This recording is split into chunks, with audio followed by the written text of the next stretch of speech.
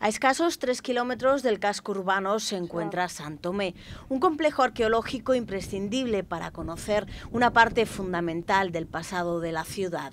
En él concurren los valores históricos característicos de un complejo yacimiento arqueológico, con los naturales, derivados de un entorno que no solo conserva una vegetación peculiar, sino que disfruta de un emplazamiento privilegiado, con impresionantes vistas sobre la ciudad.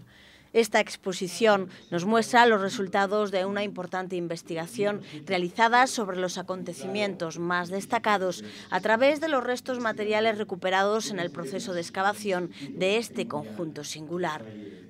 De este modo, el visitante realiza un paseo por la historia, desde el mundo castrecho hasta el siglo V después de Cristo.